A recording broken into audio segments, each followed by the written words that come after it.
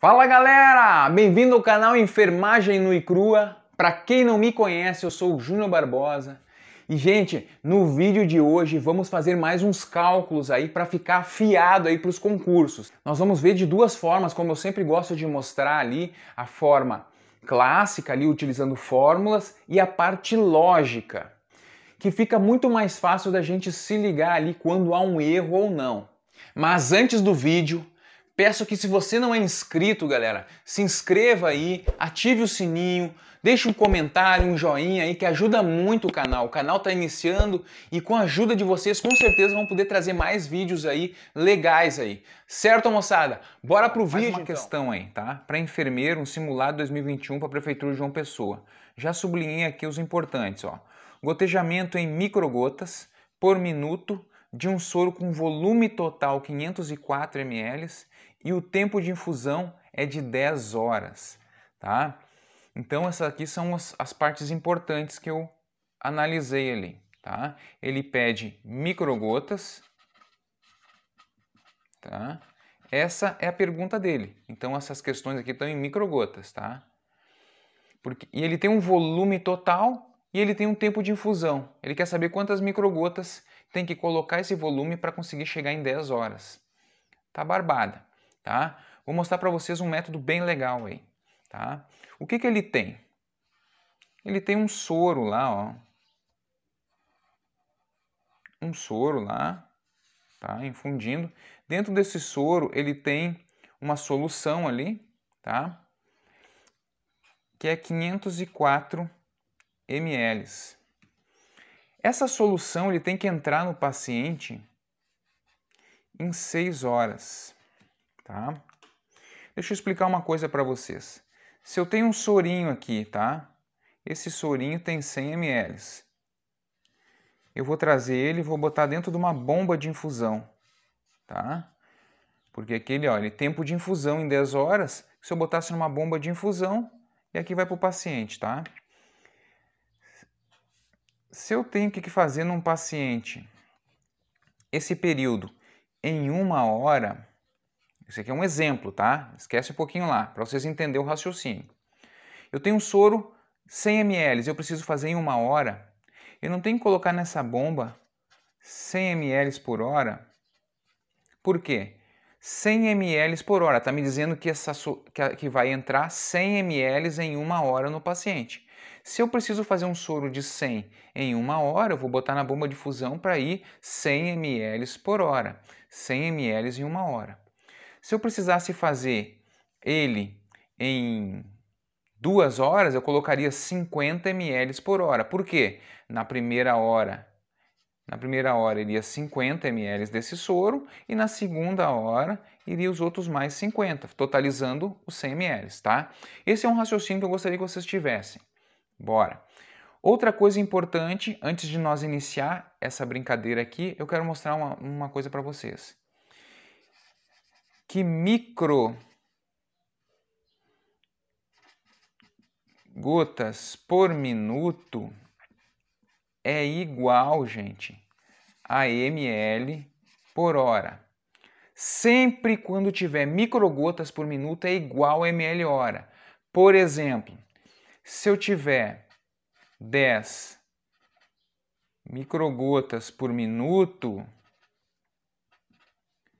eu vou ter 10 ml por hora.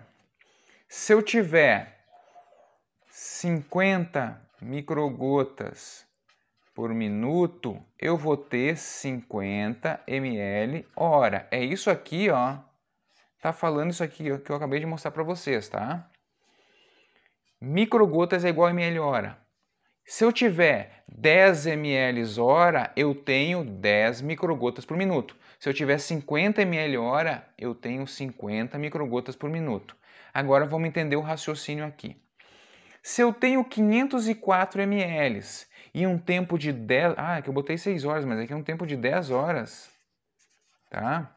10 horas. Eu tenho que fazer esses 504 ml em 10 horas. Se eu dividir esses 504 dividir por 10, certo? Essa resposta aqui, galera, é uma matemática bem tranquila. O que, que eu vou fazer? Ó, 504, 10, eu boto, se tem uma, um zero, eu boto uma vírgula para cá. Ó. Se eu tenho 504 ml que eu tenho que fazer em 10 horas, na primeira hora vai quanto? 50,4. Na segunda hora, mais 50,4. Na terceira hora, 50,4. E assim vai indo até acabar o soro. Na décima hora, eu acabei o soro com esse valor aqui, ó, 50,4. Certo? Então, se ele está me perguntando, isso aqui é ml hora. Se ele está me perguntando ali, o gotejamento em microgotas por minuto, cujo volume total é 504 e o tempo de infusão é 10 horas, se eu dividir o soro 504 por 10, eu vou achar 50,4 ml por hora. Então eu sei que a cada hora vai 50,4 ml hora. E eu estou dizendo para vocês que ml hora é igual a microgotas por minuto e a pergunta é em microgotas, a resposta é 50,4. É muito fácil. Se vocês querem entender um pouco mais desse modo que eu mostrei para vocês, tem um linkzinho aí em cima. Acesse lá que eu explico tintim por tintim. Tá muito legal. Vocês vão parar de bater cabeça, tá? E resolver cálculos assim destas, dessa maneira, certo? Vai lá. Outro cálculo aí, galera, ó. Prefeitura de Formosa, técnico de enfermagem 2021, ó. Gente, esse 2022 vai rolar concurso a torto e direito. Bora se preparar tá? Então eu tenho aí, ó, uh, o técnico enfermagem diluiu uma ampola de cefalotina uh, em 8 ml, ó, de água destilada. Dessa solução ele aspirou 3,7 ml, tá? A dosagem do antibiótico recebida pelo paciente foi, quer saber quanto é que foi recebida a dosagem, tá? Pode ver que está em miligramas, ó. Gente, de novo, Repito, se você não sabe transformar aí, ó, uma grama em miligrama, tem um link aí para vocês buscarem lá essa informação, tá bem legal, tá? Mas já deixei aqui, ó, uma grama equivale a mil miligramas, tá? Outro detalhe, eles colocaram aqui, ó, cefalotina 1 grama em 8 ml. Eles colocaram a cefalotina para confundir com a penicilina cristalina, que é aquela que aumenta 2. Essa aqui não aumenta, certo? Então o cálculo vai ser quebrado mesmo, tá? Então, bem tranquilo. O que, que ele me pede? Ó? Regra de 3. Cefalotina. Ah, eu, eu vou, vou, fazer aqui no frasco aqui. Eu tenho uma, gosto de desenhar no frasco para vocês saberem. Botei ali dentro, ó, 8 ml de água destilada, tá? Lá está o pó, mas esse pó não aumenta. Então, dentro lá eu vou ter 8 ml contendo a mil miligramas, certo? Então, galera, se eu pegar por um acaso, fazer a regra de 3, vamos fazer a regra de 3 aqui, ó. Mil miligramas, eu tenho 8 ml, certo? Se eu usei 3,7 ml, quantas miligramas eu vou fazer? Se eu resolver esse cálculo, eu chego no valor aqui, certo? Mas eu vou fazer pela lógica primeiro. Se eu dividir 1000 miligramas em 8 ml, eu vou saber quanto vale 1 ml. Concordam comigo? Certo? E quanto vale 1 ml? Vou dividir ali, dá 1, dá 8, dá 2, dá 0, dá 5, dá, do, dá 3, não 3 não, dá 2, olha o Mobral, 2 vezes 8, 16, dá 4, desce o 0, dá 5. 125 miligramas por ml. Então quer dizer que 1 ml eu tenho 125 miligramas, certo? 125 miligramas. Se eu multiplicar esse 125, multiplicar pelos 3,7, que é o que eu administrei no paciente, eu vou chegar no cálculo de 7 vezes 5, 35, 3. 2 vezes 7, 14, 15, 16, 17. Vai 1. 7 vezes 1, 7, mais 1, vem 8. 3 vezes 5, 15, vai 1. 2 vezes 3, 6, mais 1, 7. 3 vezes 1, 3. 5, 7 com 12 vai 1. 8, 15, 16 vai 1. 4, vírgula ali, vírgula ali. 462,5. Olha lá, tem uma resposta aqui já. Ó. Vamos fazer por esse cálculo aqui. Multiplica cruzado. x8 é igual a 3,7 multiplicado por 1.000, 3,700. x é igual a 13,700 dividido por 8. x é igual a 462,5. Pode botar na calculadora aí. Alternativa A. Top, né? Então tem dois jeitos de fazer tu tentar um, ter um raciocínio mais lógico e uma regra de três. Qual a diferença? Na regra de três, se tu errar o cálculo, tu pode não achar o caminho. Aqui, tu tem a lógica ao teu lado, ao teu favor. Então tu consegue ter uma noção melhor. Eu quero sempre tentar ensinar os dois, que para vocês vai chegar um ponto que tu vai dominar melhor um ou outro, ou vai os dois andar lado a lado. Nossa última questão aí, ó. GHC Grupo Hospitalar Conceição do Estado do Rio Grande do Sul. Eu fui concursado lá, trabalhei durante um ano neste local e depois vim para as missões aqui, saí fui para outro concurso público.